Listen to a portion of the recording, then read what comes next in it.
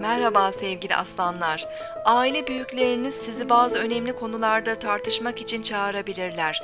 İzlenimlerinizi, görüşlerinizi ve çözüm önerilerinizi paylaşmaktan çekinmeyin. Sizden istedikleri ama net olarak ifade edemedikleri bu olabilir.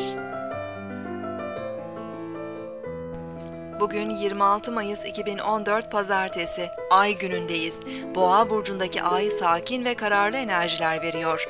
Maddi manevi güvenlik ihtiyacı artarken huzurlu ve uyumlu davranışlar öne çıkabilir. Parayla ilgili kavramlar, toprak ve toprağa dayalı işler, yemek ve beslenme ile ilgili konularla ilgilenebiliriz.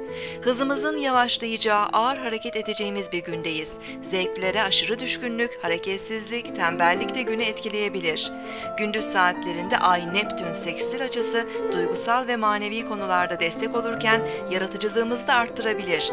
Akşam ve gece saatlerinde Ay Plüton üçgen açısı kendimizi güçlü ve güvende hissetmemizi kolaylaştırabilir.